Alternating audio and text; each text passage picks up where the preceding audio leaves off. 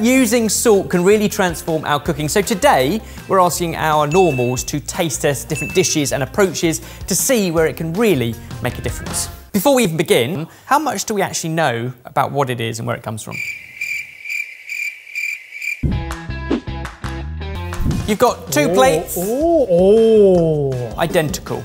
However, the second plate, B, has salt.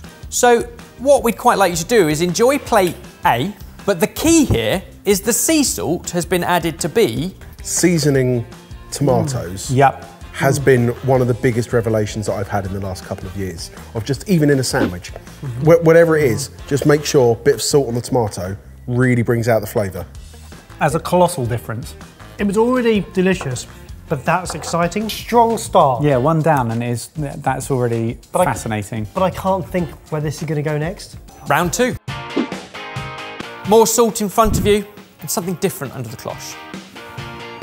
That is a bowl Tuna. of raw tuna. Try it on its own first, and then we'd like you to season it, but we really want to show the difference between if you season And it. when it comes to seasoning quantities for something like this, how much salt are you actually using as a chef? Y- You've got to be sensible with it.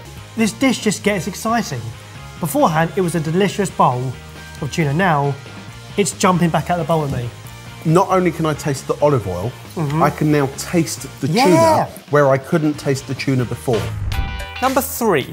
Bring it what on, you've Evans. got there is a bed of whipped ricotta, new potatoes, asparagus, and some seared steak. If you've got delicious salts at home, you can dip into them whenever you want.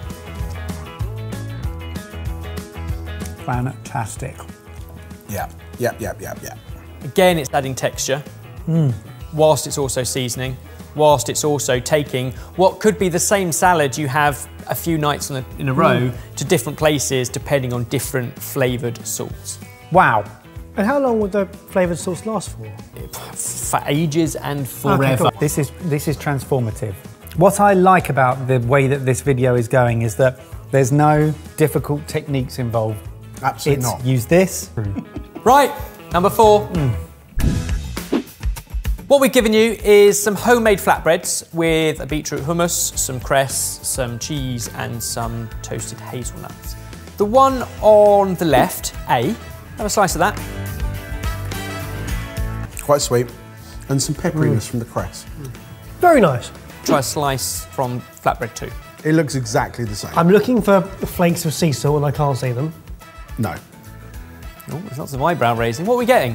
What did you do to it? It's all about where, you stick it. Where you put it? No It's on the bottom. Barry, it's on the bottom. Which, it's on the bottom. when you eat a slice of flatbread or pizza, is the first thing that hits your tongue. There's No way. The second one, the salt hits your tongue. No Thought way. experiment worked, and you get a different reaction. I didn't think it would make that much of a difference. My only problem with this is, in real life, you have to be really organised for this to work. Last one. And strong. And strong. Yes! Obviously, Oh. salt is typically associated with savoury, but it doesn't have to be. Salt and chocolate. Cheers. So this is Sans salt. Yep. Right, Sweet. do your magic.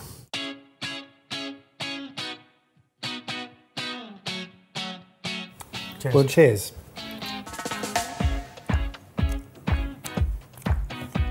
Wow, that is amazing. Actually, mm. like the fact that thinking about it, mm. just this ingredient that everyone uses all the time. You don't have to do anything to it. You just put it on something, and it makes a colossal amount of difference. It's still such a backwards way of thinking that something that's really sweet needs a bit of salt to help improve the flavour. Interestingly, Yeah. salt on things like fruit is also really nice. On tropical fruit, a little bit of salt in a mango lassi or a banana lassi is amazing. You can put salt around the rim of glasses in cocktails that are particularly sweet and fruit juice and with lime. What it does each time is just bring out the flavours of what is already in it. And that's what's been really fascinating about this because it just sort of accentuates the value of using Yeah. the right salt in the right places. But what I also like is that we found out that it's not necessarily about the amount that you add. No. It's when you add it Yeah. and where you add it Yeah. as well. And we'd love to hear how you use sea salt at home. Comment down below, let us know.